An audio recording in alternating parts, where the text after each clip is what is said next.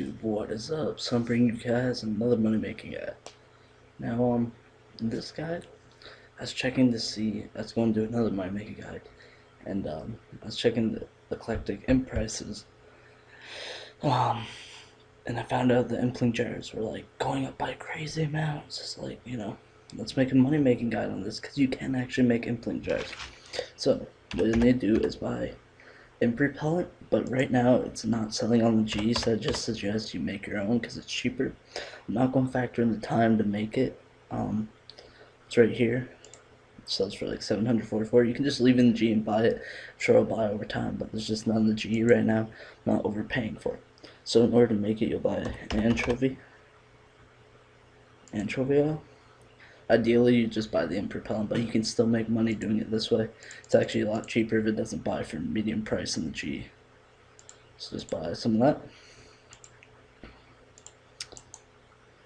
There you go, 140 uh, GP right there for that. Then you need to buy flowers. And I found that the cheapest flower is yellow flowers. So I'll buy some of those. They'll come in for way lower than that. There we go. 5.3k. Then all you want to do, oops, not wield it. Use yellow flowers. You just want to use these just like this. Make all of these anchovy oils into imp repellent. Do this up. Like I said, normally I just buy the imp but it doesn't come in G. Don't pay over 800 GP per imp repellent, it's definitely not worth it. Um, but usually anchovy oil, if it is only 14 GP a piece, you can save about 400 GP by making it yourself. Because flowers only like 400 GP each, and the oil's like 14 GP each. So there we go, made all our imp. And now you'll just want to buy butterfly jars. 14 of them, you know, you'll stock up in your bank, but you only be able to have 14 of each in your inventory. But just buy as many as you want, how many uh, impling jars you want to make. So boom, there we go. Once you get your imp repellent and your impling jars, to teleport to Port Sarim. Let this go using the lodestone. But like I said, um, because you can buy the imp in the G, I'm not going to calculate the time it takes to make it.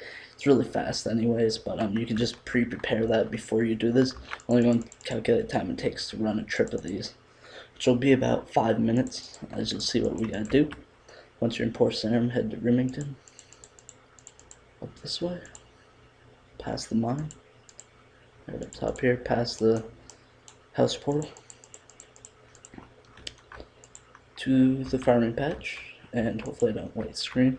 Been pissing me off lately right here to this little green like quest habits for the achievement I want to come over here to this table to the lamp oil stand? All you want to do is use one of these right in there and then use the butterfly jar and boom impling jar. So imp repellent right there. And you'll just want to do this over and over. So I'm going to pause the video till I do this inventory guys, and we're back. We finished up, so remember you'd use your oil, use on the lamp oil stand, then use butterfly jar with that oil stand once you're filled up with your oil, and you'll get an impling jar. So then you want to head back and bank either Edgeville, Burthorpe, anywhere close to a bank. I'd suggest one of those two. But we're going to go to the G and sell it and see how much profit you make. And um, an average inventory would be anywhere from two to three minutes. I'll go on the high end, say three minutes, but that's actually a long time. Say easy two minutes.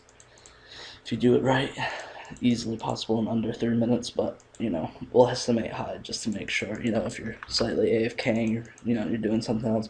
This really, you can't really AFK it because you gotta click constantly. You gotta click oil, put in the oil, then click impling jar, and make it into an impling jar, each one separately. There's no make all button, which sucks, but you gotta do what you gotta do, especially for the good GP that you get out of this.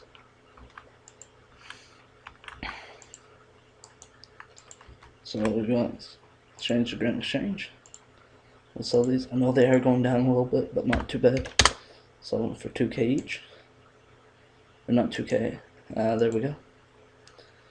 So 31.6k. Now I would recommend making your own impelt as it is a lot cheaper. It will, you know, I'm not going to calculate into time because you don't have to. Plus, it really doesn't take that long.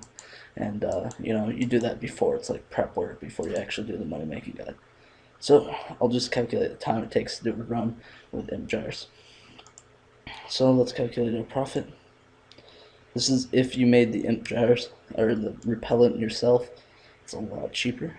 So, pretty much, we got we'll just call it 5.4k because it's 104 GP added to that. It's 5,400 plus the, we'll call it 3k for the implant, uh, the butterfly jars.